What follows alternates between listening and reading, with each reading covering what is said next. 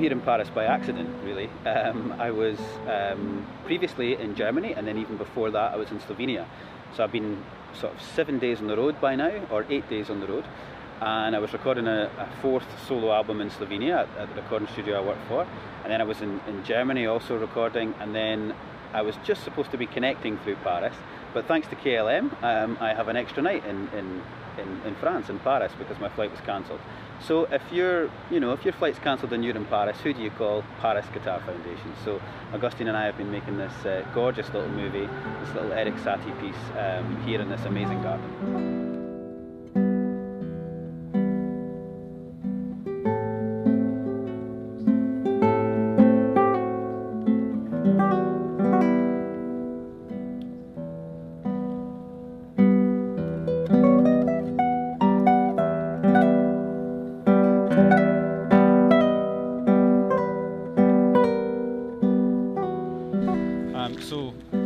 Position I have is I teach um, guitar at the Royal Conservatoire of Scotland in Glasgow.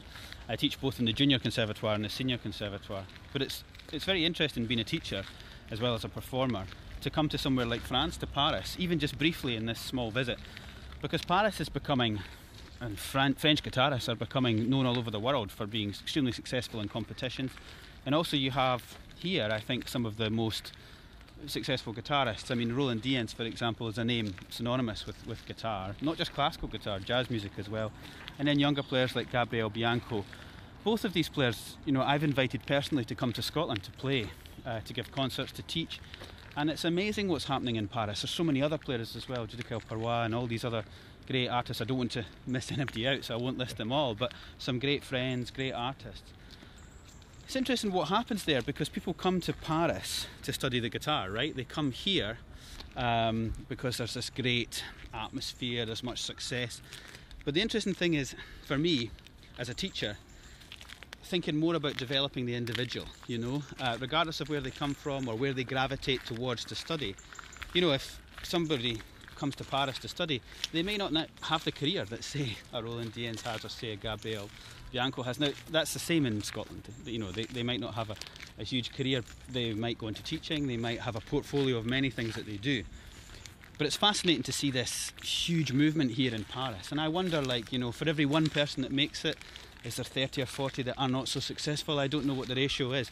Um, but sometimes you see artists, painters, they gravitate towards a place or a location to paint or a movement in people. And I think this is, is very important for establishing a culture that's really strong with our instrument, with the guitar. But students have to remember that at the end of the day, just being associated isn't enough. You have to develop your individuality yourself.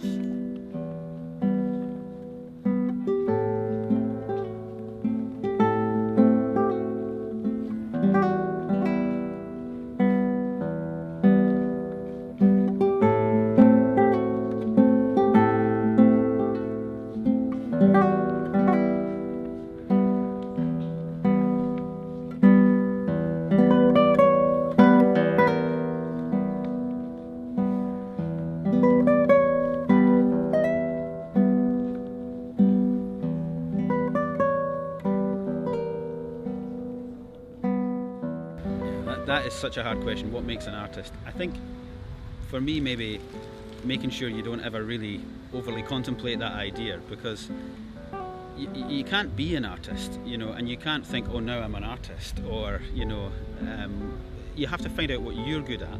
You have to find out what you can express the best and the most coherently to the public. And then, if they like that and they go with that and they follow you for these kind of things, then maybe other people might comment on you as having an artistic kind of career or an artistic life. But if you're sitting around thinking, you know, I am the artist, then this is this is a joke. This is thinking about things the other way. It takes, I would imagine, years, decades upon decades to really achieve that. We're here in Paris. Someone like Roland Dyens would, would for me, I would say he's an artist. Um, you know, I think he's he's earned the right, you know, with the things that he's done and the things he's achieved. So I would look up to someone like that as, as an artist.